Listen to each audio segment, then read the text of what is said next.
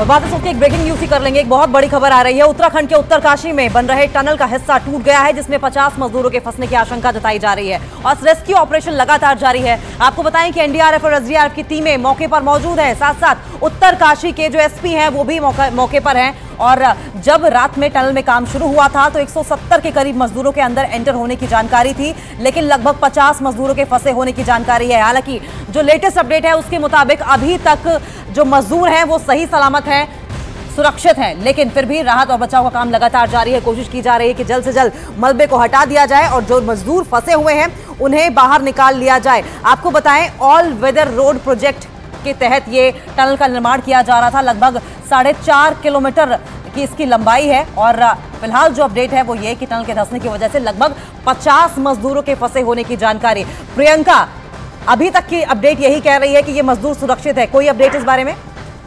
देखिए, फ़िलहाल सबसे पहले प्रायोरिटी प्रशासन की यही है कि इन मजदूरों को सुरक्षित बाहर निकलना है और उसी के लिए ऑक्सीजन पाइप्स वगैरह भी टनल के अंदर डाली गई है ताकि ऑक्सीजन की कमी से कोई दुर्घटना ना हो। अभी तक जो अपडेट मिल रहा है, उसमें यही बताया जा रहा है जा रहा है कि मजदूर जो है वो सुरक्षित है।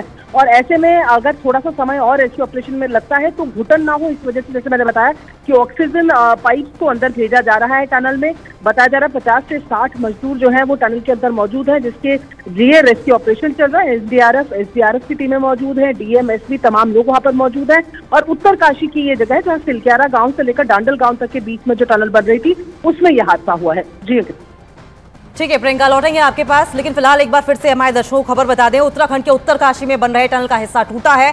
50 मजदूरों के फंसे होने की आशंका जताई जा रही है और रेस्क्यू ऑपरेशन लगातार जारी है। एसडीआरएफ और एनडीआरएफ की टीमें मौके पर पहुँच गई हैं और रेस्क्यू किया जा रहा है। साथ साथ उत्तरकाशी के एसपी भी मौके पर मौजूद है और जैसा कि हमारी सहयोगी प्रियंका भी बता रही थी कि किसी भी तरीके से टनल के अंदर ऑक्सीजन की कमी से किसी की मौत ना हो, कोई हादसा ना हो, इसको लेकर बाकायदा खासा ख्याल रखा जा रहा है, लेकिन तस्वीरें ये उस वक्त की हैं जबकि रेस्क्यू ऑपरेशन चलाया जा रहा है रात में ये मजदूर गए थे, लगभग 170 से 175 की संख्या बताई जा रही है टनल के अंदर मजदूरों के पहुँचने की। लेकिन अब जानकारी ये मिल रही है कि 50 मजदूर ऐसे हैं जो कि अब भी फंसे हो सकते हैं और उनके रेस्क्यू का काम लगातार जारी है।